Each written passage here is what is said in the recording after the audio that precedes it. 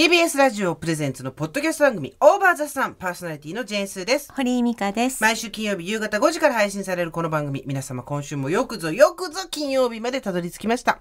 毎回およそ30分私ジェーンスーと堀井美香さんが語らい、皆様から届いたメールを読み、太陽の向こう側をオーバーと目指していく、そんなトークプログラムとなっております。はいというわけで、恐ろしいことに今これが配信されてる時、私たちは渋谷公会堂、つまり LINE キューブ渋谷におんねん。もうすぐ幕が開きます。えこれ何時に配信だっけ？5時だよね、ん。で6時ぐらいにはもう始まっちゃうんだっけ、うん。6時半に始まるんだって。みんな有給とか早引き取ったかな？来る人。どうでしょうかね。うわー頑張んなきゃ。あのサンボマスターのはい「できっこないをやらなくちゃ」ばっかり聞いてますよ、自分を鼓舞するためにね。そうです、はい。みんなに楽しでも私すごいさ今回あのちょうどあのパルコもやってるじゃないですか。うんで、えっと、ちゃんと説明しないと怒られるから言うけどパルコの、えっと、オーバー・ザ・サンパークっていうのが渋谷パルコの地下1階のギャラリー X でやってるんですけど、はい。これが先週19日からねで2月までやってんだよね2月12までやってるんだけどこれも美香ちゃんと見に行ったけどさなんかさ今回ちょっと青臭いこと言っていい？どうぞ。やっぱりさうん。やればやるほど、うんいろんな人の協力と。尽力、そして人力協力能力そうこのですね3つの力がですね毛利元就の3本の矢のごとくですね 集まって、まとまるとそう硬いものになって。そう。だって私たちはほとんど寝言なんですもん。いや、寝言のブーメランがすごい巨大になって私たちが今、あのー大変なことになってるっていうのもあるんですけど、でもグッズだったりとかさ、あと展示物だったりとか、うん。あとあなたのオーバーザサンパークでけいあの展開されてる喫茶堀、うん。あれだってそんなにさ明確に詳しく言ったわけでもないのに、うん。めっちゃそれになってたじゃん。ね。ちょっと思いつきでやるとあのあのさなんか昔のあのさテレビのところにさ画面流したカラオケみたいなあの画面にしてさっていうと本当にそう。え本当にできてる。希望のスンスのカラオケ用ビデオみたいのがなんとブラウン管に流れてるんですよ。ね。そう。あとさよくよくですよ。喫茶堀井の椅子椅子もねあの椅子どこで持ってきたのかしらっていう、堀井さんが好きなんか昔の喫茶店っぽいのがいいみたいなことは前は言ってたけど具体的にどうって言ってなかったのに、うん。本当に堀井さんがずっとやってる喫茶店みたいなんだよね、はい。あそこの大一好きな。椅子の形です、ねあのくるっと回る。そういくよくイメージできたなと思って私の脳内を。でカウンターの向こう側に堀井さんがいるイメージ。ええ。そして田沢湖カレー。物議を醸しまくっているあれも隣のカフェで食べられて。はい。で見るとでそのさガチャガチャがあったりさ、うんうん。あするわけ。だけどさ、うん。あれとかもね、うん。私たちが番組の中でさひょろひょろ思いつきで口から旗出すように喋ってたやつがさ、しっかりガチャガチャになってましたね。で実物になるとなんて愛おしいんだっていうさ、ね。すごいありがたいよね。入るとまずあの笑い声もするじゃないですか。あとヒヤシンスの匂いがするんだよ、ね。ああいう小さい細かいアイデアとかも多分スタッフが考えたんでしょうよ。いやだってそううちのスタッフもそうだしパルコさ、パルコギャラリー X がやっぱすごい優秀だね。ありがとうございます。あの何様目線？今私完全に今誰目線って書いてるけどめちゃくちゃ優秀だよね。私っていうかまあなんか自分たちのことをこういうふうに言うのもあれなんですけど、パルコさんってやっぱりいいとこに目つけるんですね。誰？私以上に誰目線だよそれ。いやでもそれをなんか知り合いが言ってたんです、うんそうだからいろんな展示とかギャラリーがあるけど、うんうん。まさかここでオーバーザさんを持ってくるパルコってすごいなっていう話はしてましてた。そうかそれを形にできる力があるのがすごいのよ、うん。だって私たちが絵描いてたらそれはわかるよ。展示会良くも悪くもできるけどでも創造物ゼロっていう、ん。私たちで作り出してるぼんやりした空気っていうだけなのにそれを実在のものとしてちゃんとよ作り出して。くさこのなんかエピソード170までやってきたこれに対してよく内容をあそこまでちゃんとしっかり捉えてたなと思って。そうそうこうだったこうだった。そう。年表とかすごい新鮮な。のああそうなるほど。ああいう展示ってちょっと違うとなんかあこうじゃないんだよなとかこういうことじゃないんだよなみたいなのって多々発生するじゃないですか、もうバッチリどこもあの本当にあの私たちのふざけたものを見あの世界っていうのが好きで来てくださる方も本当に嬉しいんですけどもし学生さんでなんかうん。プロジェクト系の、うん。あのなんだろう、うん。何かをやるプロジェクト大きいプロジェクトその、うん。イベントをやったりとかあとえ美術系だったりとか、うん。企画系だったりって仕事を今後やってみたいっていう人は、うん。勉強のために来たらいいと思います。あんだけぼんやり聞いたものが具現化するとこうなる。なるほどすごいなっていうね。うんまあ、あの大学生とかもねあの学祭の前とかに勉強しておいた方がいいですよね。まあほとんどね私学祭です、あそうそう私があのちょっと小学生みたいなあの壁新聞、ね、壁新聞もありますけど、はい。あそこよく怒らなかったよ。あれだけ世界観を壊してるものいやーでもなんか本当に皆さん楽しんでくださってそうありがたい。何がって互助会の楽しむ能力の高さ、うんすごい。でなんか500みんな円500円現金持ってないとみんなでこうなんかやり合ったりとかしてるらしくて交換し合ったりとかねありがとうございますね。あとさあの美香ちゃんと私のさ、はい。パネルのよところ一緒に座って写真撮ったりとかさ、はいみんなさ、はいはい。楽しんでくれて、ね嬉しいです。本当にありがとうございます。おみくじ引いてくださって本当に。そうだよね。ありがたいよ。マジで。いやー本当にありがとうございます。だからまだ行ってないっていう方よかったらちょっと来てください。ぜひぜひくだらなくていい意味でくだらなくて楽しいので。はい。であと2627ですよ。今日明日ですよ。どうなってるでしょうね。今頃ね私たちね。私はそこにいるのかしら。なんかだから美香ちゃんに昨日言ったんだけどわかんないよ。実際蓋開けてみないとわかんないけど、私の手応えとしては失敗はするかもしれないけど、うん。失敗作だとは思わないで済むようなところまでは私たち来れたんじゃないかなっていう気はする。そうですね、うん。そこは言いましたね、うん。あの昨日言ったんだけどって今すーちゃんが言いましたけどあの私たち夜中に LINE でやり合ってるんですよ。そうそう 仲いいからね。そう。11時半ぐらいだった、ね。11時半ぐらいからね。二人でね。しかも美香ちゃん車の中。そう。なんだよそれって。暗いよ。あなたまだお仕事してていやね私はでもう家帰ったところだった。ああそうですそうかそう。二人でずっとねいろいろちょっとあのまあ頑張ってましたね。そうそう練習11時半から練習してね。二人でね大体あとやっぱりとにかくでも一番私たちが恐れてるのは今うん。互助会の人が冷静になることだよね。そうです。あれ？なんで私たち魔法が解けた瞬間。あれ？なんで私このおばさんたちのね 寝言みたいなの聞いてんだろうみたいな。その冷静になるのさ冷静になるんだってその後ですよ2月ここあの節分終わってからにしてくれ。冷静になるの節分豆まいたら大丈夫だからひ本当だよ豆ま節分まではこ去年だからいやーそうですね。あでも配信もねあれしてるんであの配信は限界なしですからうん。何個までしかできないっていうのはないので、はい。えっ、と気が向いたら配信見てほしいです。はい。26日はしゃべる話すですね、うん。27日ははしゃぐっていうことで、うん。2日間とも違うことやるのでうん。なんか投資のチケットの方が安いんだよね確かちょっとだけね。そうですねそうですね。でございます。はい。あー頑張ろいやーちょっとなんかあの本当に、まあいろんまあパルコさんもいろんなものを仕掛けましたけど、うん。いろんなものを作ってもらいましたけど、今回もまあ喋るの方はねちょっとじっくり喋りたいなっていうテーマも私たち設けていて、うん。やってるんですけどまあ2日目のはしゃぐ方はちょっとはしゃぎ材料が多すぎていろんなものをちょっと無理してね、う、うん、あのねやらせてもらってるので。己を過信しすぎて、うん。私たちねあのはしゃぐあ企画の段階ではしゃぎすぎた。それを現実化、いわゆるだからパルコ化することを段階でもう完全にはい。グロッキーになってて、なのでちょっとなんかいろいろ出て出てくるごとに皆さんそあのー驚いていただけると嬉しいうなっていうなあのベロンとあ内臓出てるよみたいなことあるかもしれないんですけど。なんかあーババババーンと何が出てくるかっていう感じで、ねえ。はい見ていただけると一生懸命やるしかないしでも美香ちゃんも私も本当になんか話しててなったけどとにかく互助会の人に楽しんでもらえたらそれでいいっていうところにギューってどんどんなってったよね。本当そうですね。別に打ち合わせたわけでもないのにね。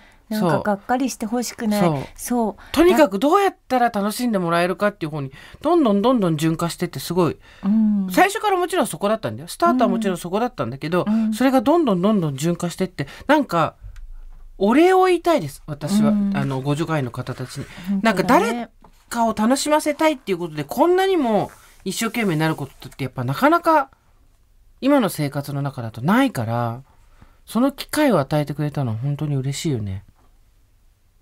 あのさ深くうなずいてるけどあんたこれ、ポッドキャストが喋れ。でもど素人みたいなまあ。うんうんってうなずいて。そうね。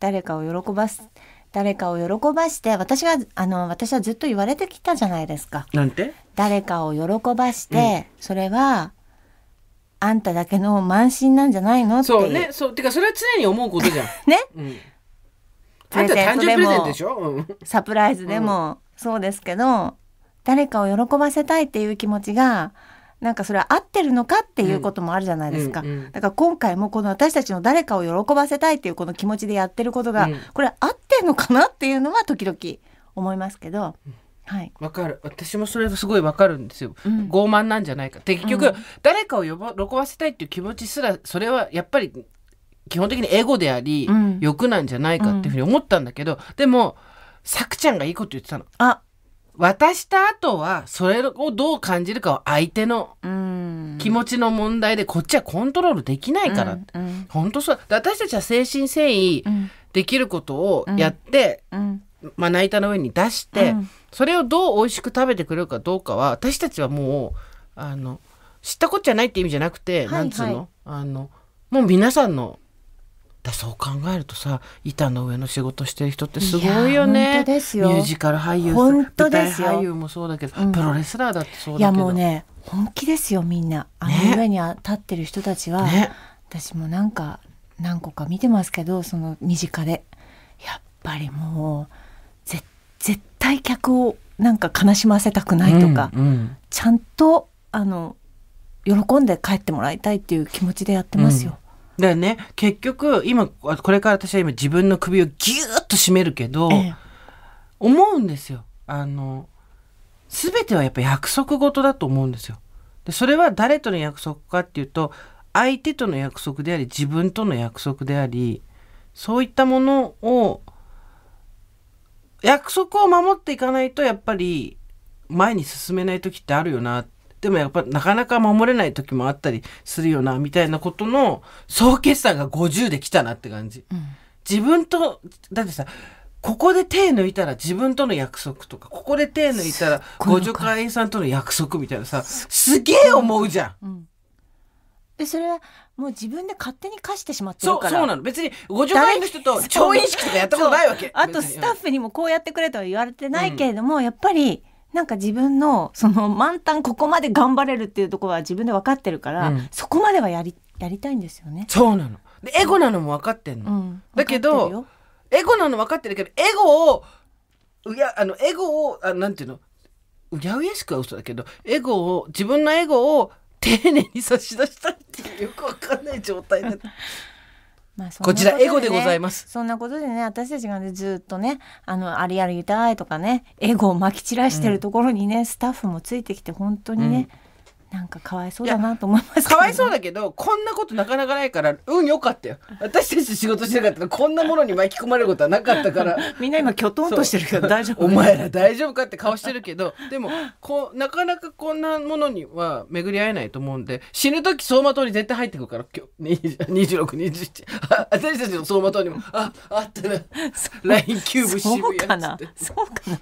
でも2627のね、うん。出来感によって私たちも渋谷を二度と歩けないみたいな気持ちにもならない、そうですね。誰からないから頑張ろう。うん。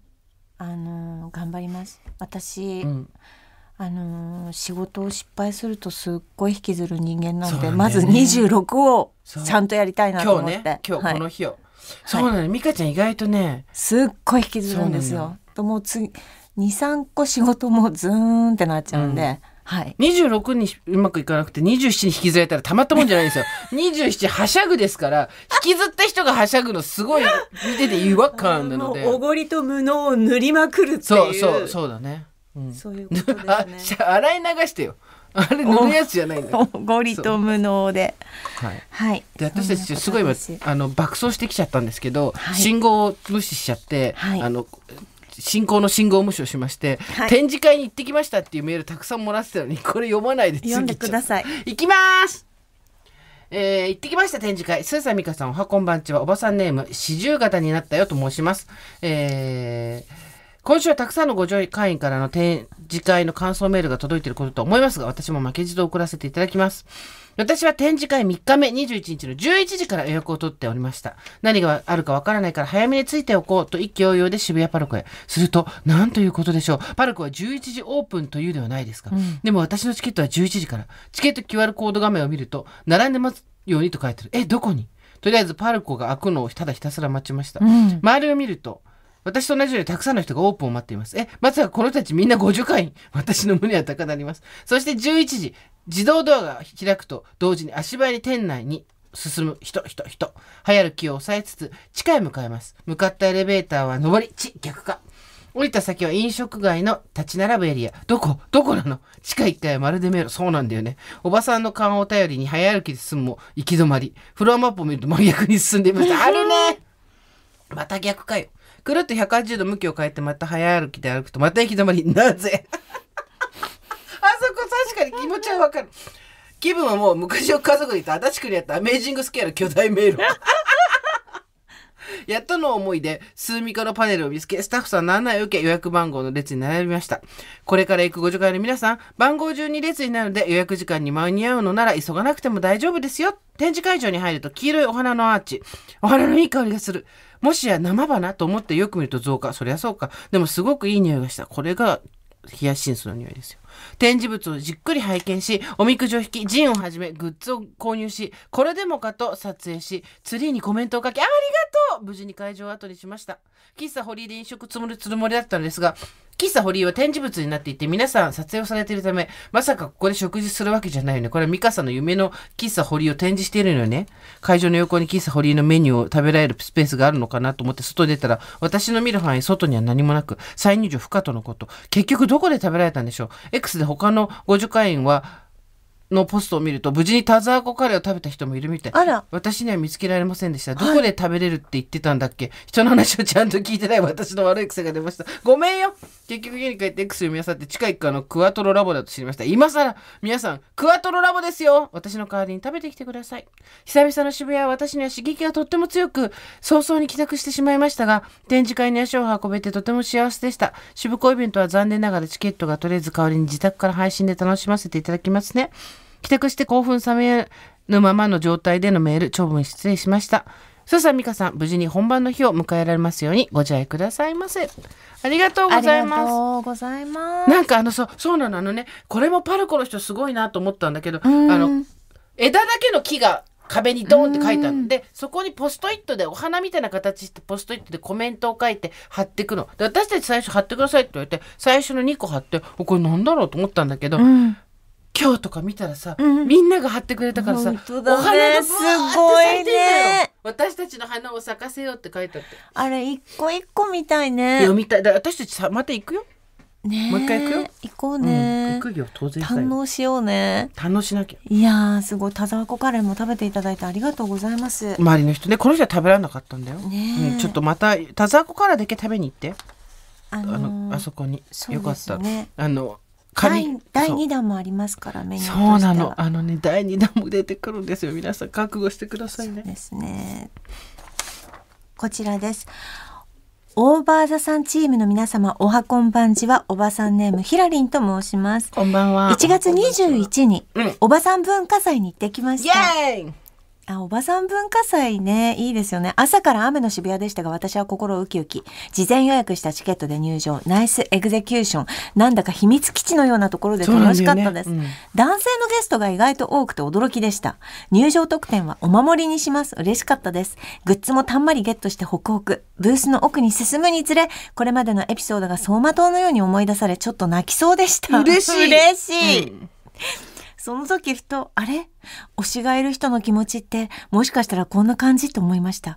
これまで推しがいなかった私は、推しがいる生活に憧れておりました。うん自分を励ましてくれる心の支えは一つでも多い方がいいですよね。もちろん、数派でもミカ派でも、よっちゃん派でもなく、オーバーザさん派です。ありがとう。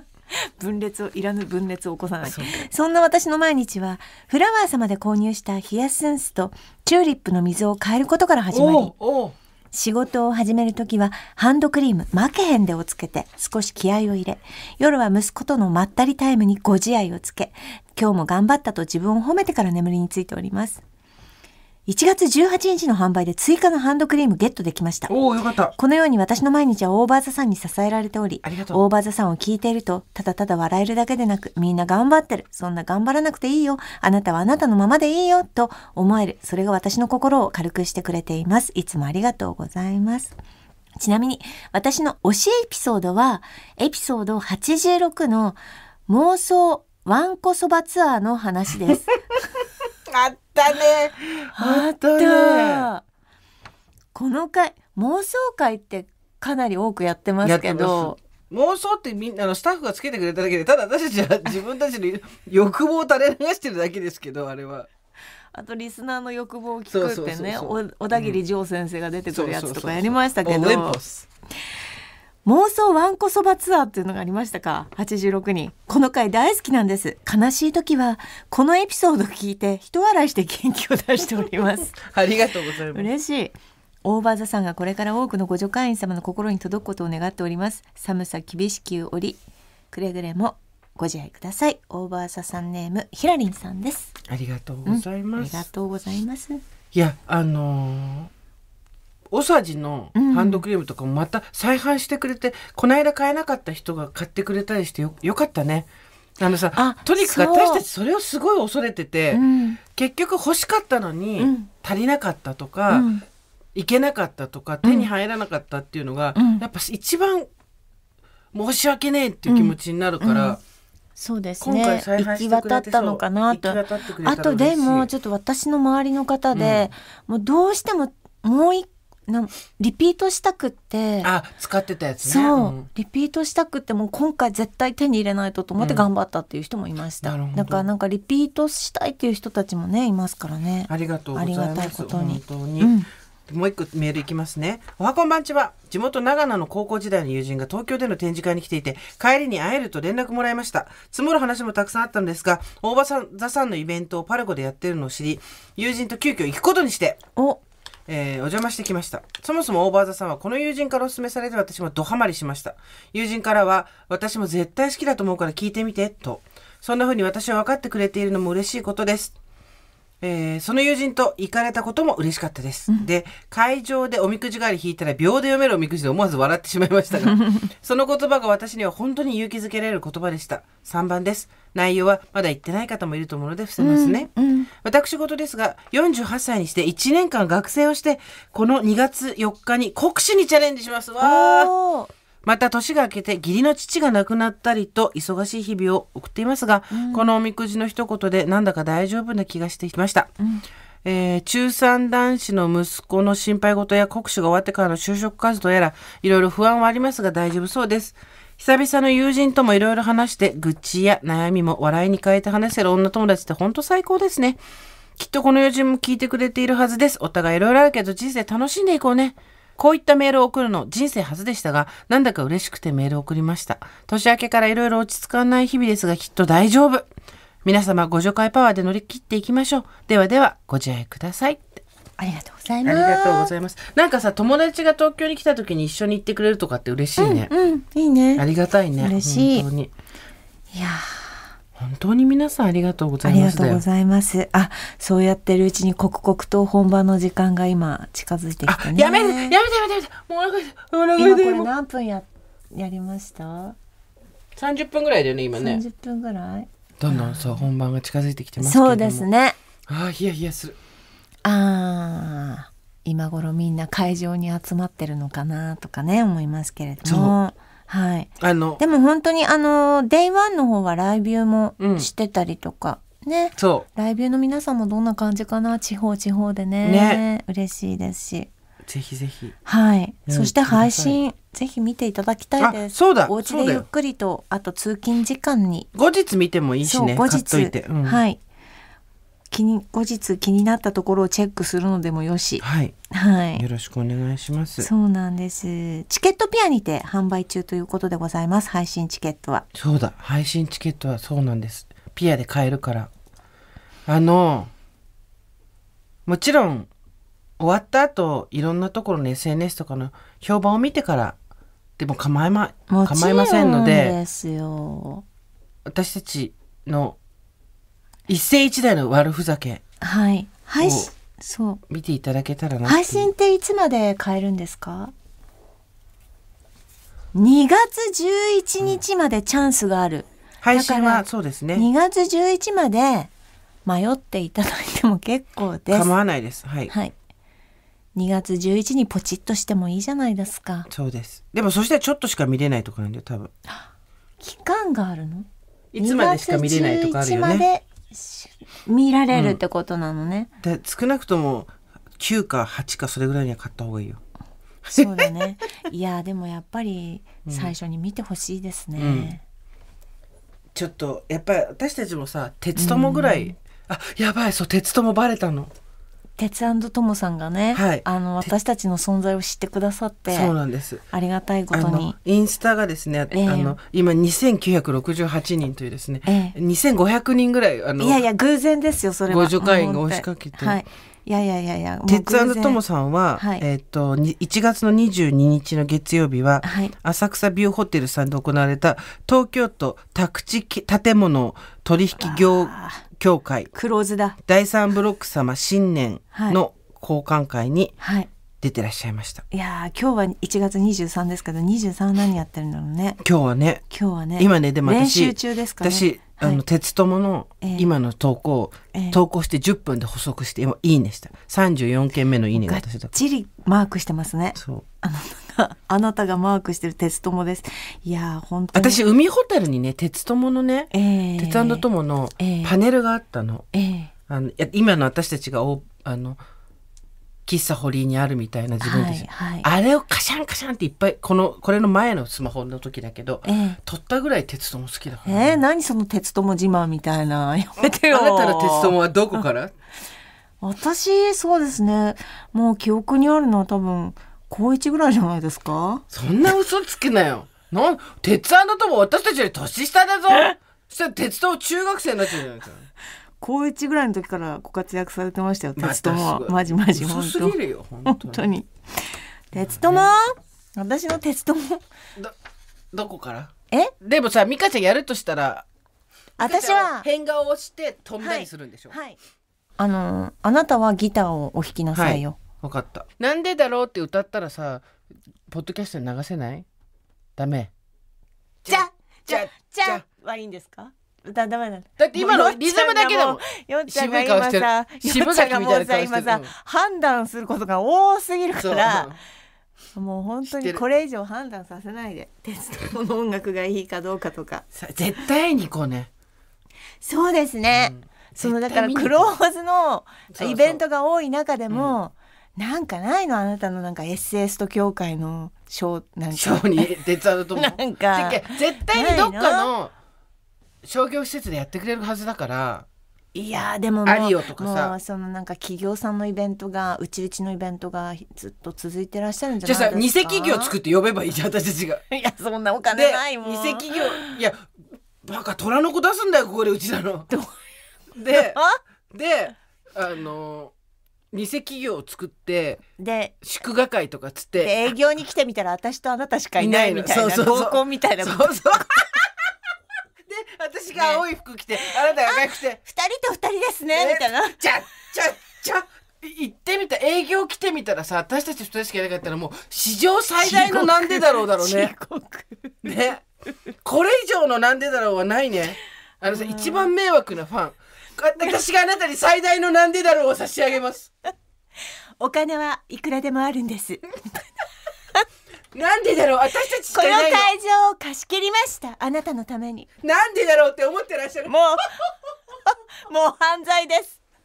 本当だよ。できんだよ私たち本当に。ねちょっと待って。これさ嫌がられてるかもしれないからちょっと距離感は測っていこいやでもね思うんです。だって鉄腕の友さんって芸歴も長いし、はい。あの人気もすごいしはい。全国だし、はい。私たちが甘噛みしたところで、はい。所詮虫に食われたて、程度よ。うなんか本当になんていうのし素人の二人がうん。ちょっと、あのちょっと修行ではないんですけどもあの裾かじる かじらしてもらうみたいなぐらいの気持ちです。なんかこれが例えばすごい若い方で、はい。キャリアとかが私たちよりも、あの少なくてみたいなことで言うとちょっとこう圧をかける感じになるけれども、はい。もう後ろ足でジャンってやられたら私たちが吹き飛んじゃいますかえら、ええええ。ここは甘噛みをさせていただくそうですね。はい。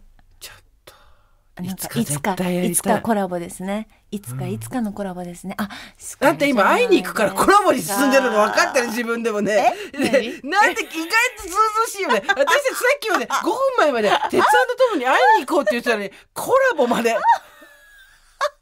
コラボ。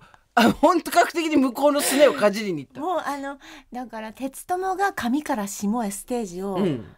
あの横断した時私たちはうん下から上へ行くっていうこの流れですね。て。か鉄友の影やりたいね。え？ゆ床に寝転がって影。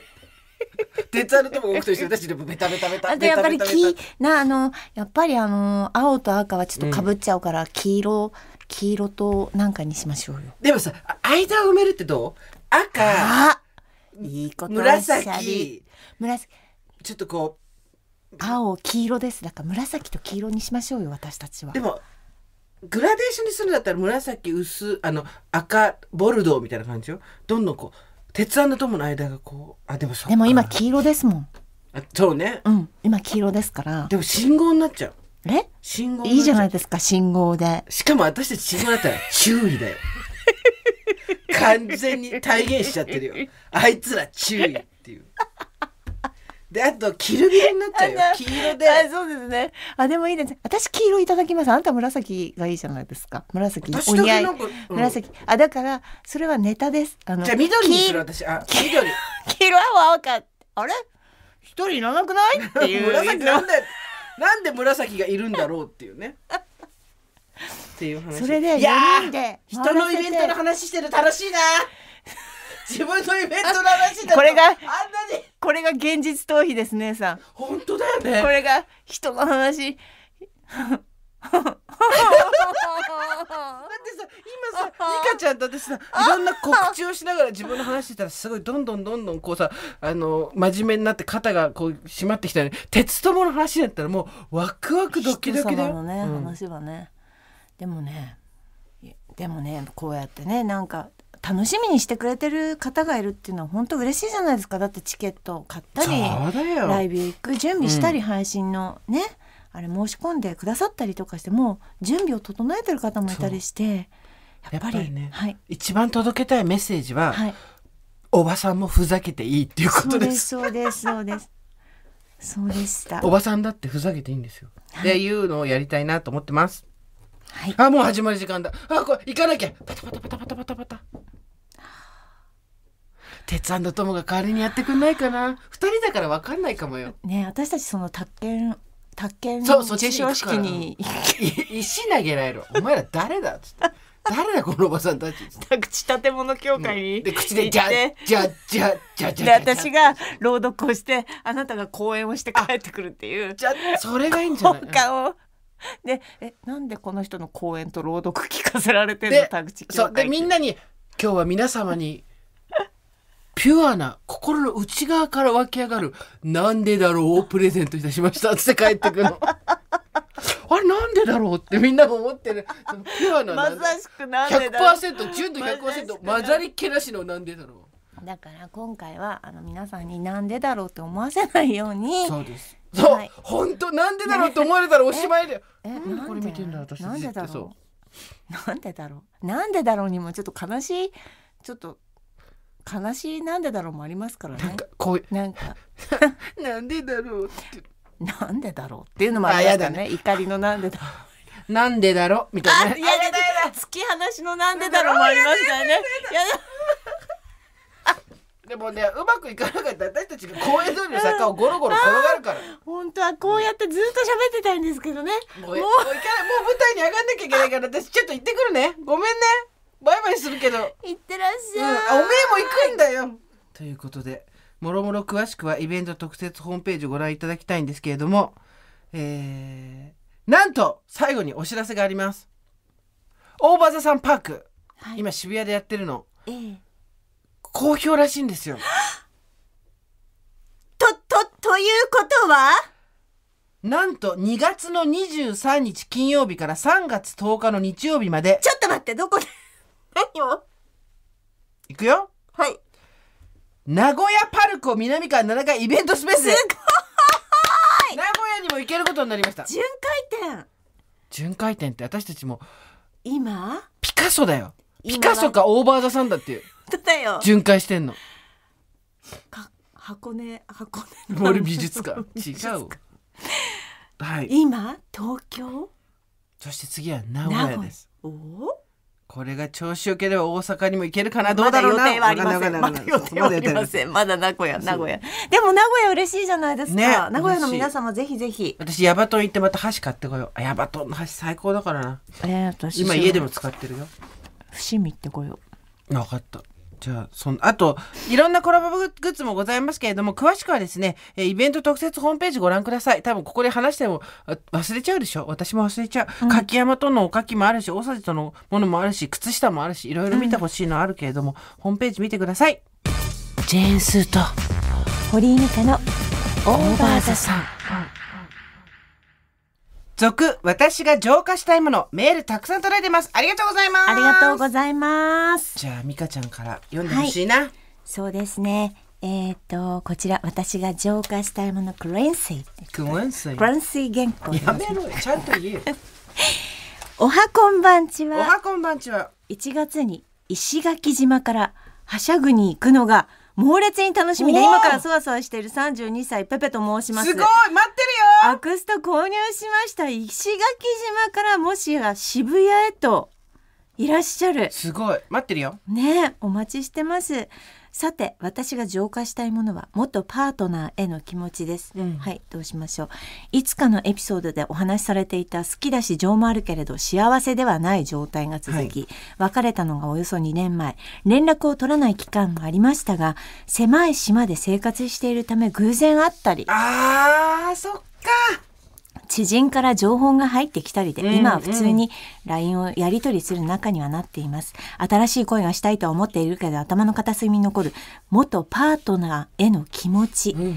手放さなければ新しいものは入ってこないとたびたびお話しされていますよね、まさにそれと思い続けて月日はどれほど流れたことでしょう。皆さんどのように次に進まれているのでしょう。思い出や情は大切にしつつもそろそろ浄化させたいクリーン水できるかな。うんスーさんちゃんと書いてるんですよ。浄化させていくらクリーン水できるかな。浄化させていくレンスイっていう。新しい言葉ができてる。えースーさん美香さん、はい吉田さん中野さん。あ中野さん元気かな？中野くんのことまで覚えててくれてありがとう。ご助会の皆様年の瀬を迎えせわしい日々かと思いますがどうぞご自愛ください。今年も愉快な時間をありがとうございました。良いお年をオーバーということでですね。良いお年をだから20 23年に、うん。はいいただいたものだと思いますけれども。まあさそんな近いとこにいたらきついわ。はいそんなすぐクレンスイできないよね。そうですね。でもやっぱ何度もやっていくしかないよね。何度も浄化していくしかないねそうです。あとやっぱりこの私たちがずっと言ってるあのなくならなければ新しいものは入ってこないっていうのは、うん。やっぱこれはクリーン水精神に基づいてますね。飲み切ったらまた新しいのを入れて新しい水に入れ替える。飲み切ったらまた新しい水。飲み切ったら新しい水どんどんどんどんですよ。まあまあ一ほら姉さん。杯どうぞ。ありがとうございますいただきます。あなたもどうぞ手酌で。手酌で失礼します。はい美味しい。美味しいでしょ？はい美味しい。はいまろやか。もう浄化されてます。はいそうだあのなんかを飲むことで自分がでも浄化されていくイメージを持っていくっていうのはあるありかあもね。そうですね。だからなんか体の中全部この綺麗なそうそう。ね美味しいお水が行き渡ってるんだっていうのは一個方法としてあると思う。そうやってどんどんどんどん追い出してってください。そう。出してそうだよ老廃物として出すそうでっていうイメージだ。だからいつも熊川哲也さんがおっしゃってたっていう話を私がさあんたいつもそんな話するけど中途半端で途中で分かんないんだよ。肌は排泄期間っていうのずっと言ってんだよね。私が言うとさそれ熊川哲也も言ってるのっていつもかぶせてくるけど。でもとにかく水をガンガン飲んでは排泄していく、はい。む昔の男への未練も全部排泄していく。そうそして新しい水をどんどん作っていく。そういうこっちゃ。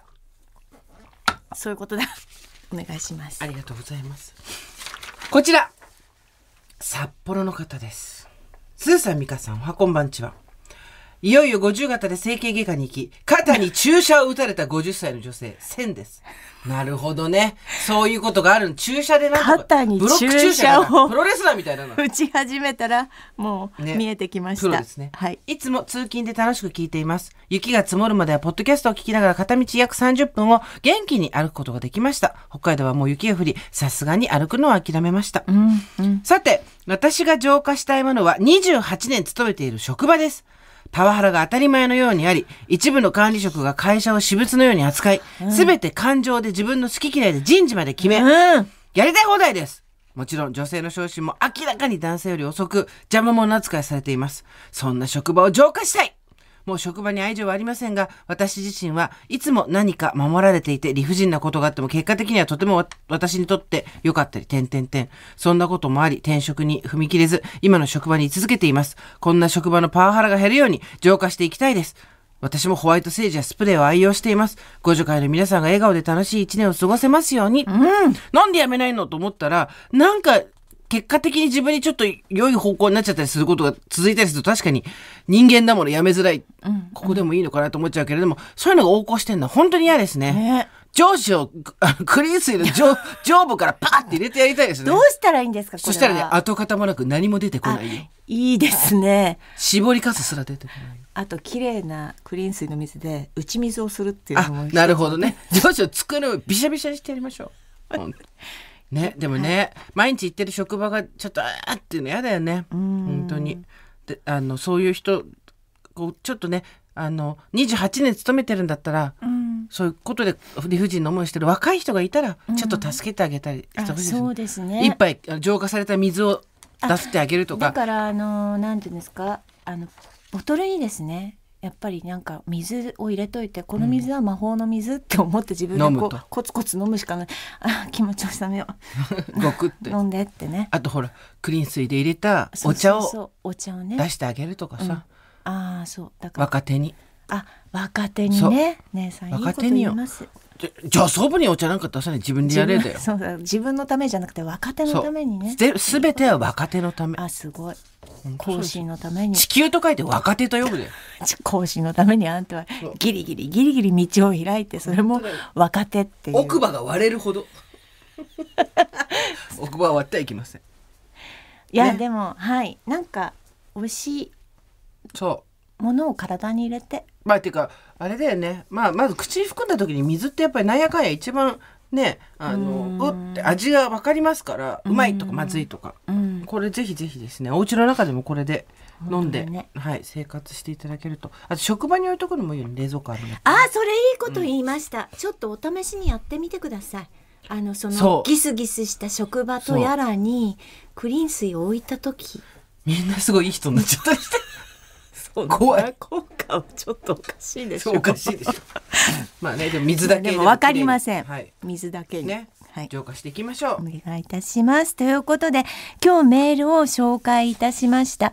えー、センさんとですね、それからこちらは、石垣の方ねえー石垣の方ですね。はい。あ、ちゃんとクリーン水小希望です。だってあ一人暮らしだから。そうねこちらを書いてないから書いてる大です。大にはい。自動的になりました、ということで、えークリーン水大おは小をプレゼントということでですね。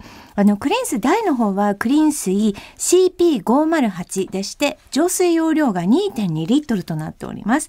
そして、えー石垣島にあのお送りいたします。クリーン水小の方はですねクリーン水 CP503 と言いまして、えー浄水容量は1.1リットルということでございます、それから私たちがあの取材を受けたクリーン水ジャーナルの記事後編が実はアップされております。アップされてます。クリーン水ジャーナルで検索してみてください、はい、私たちが水についてちょっと、浄化や水についてはい、話をして語ますので、ったとい。うね、珍しい記事でございますけれどもクリーン水ジャーナル検索してください。というわけで三菱ケミカルクリーン水さん今回もありがとうございました。といったところで今回はここまでにしておきましょオーバーザさんでは皆様からのメッセージをお待ちしております。はい番組メールアドレス over.tbs.co.jp でございます。うそれではまたあー来週の金曜日には全部が終わってるんだ本当ですね。頑張ろう夕方5時オーバーザさんでお会いしましょうこの後渋港にいらっしゃる方、ライブビューイングや配信でご覧になる方、よろしくお願いします。精一杯頑張ります。ここまでのお相手は、堀井美香とジェーンスーでした。オーバー TBS ポッドキャスト